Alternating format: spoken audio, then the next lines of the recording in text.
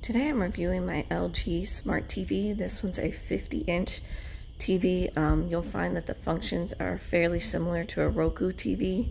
So if you like Roku, um, you'll probably enjoy this.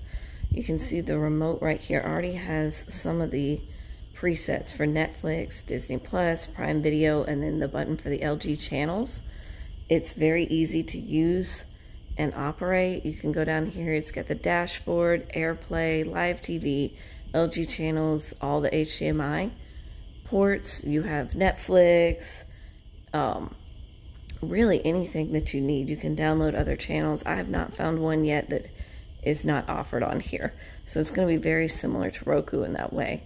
Um, lots of different free stuff to watch as well.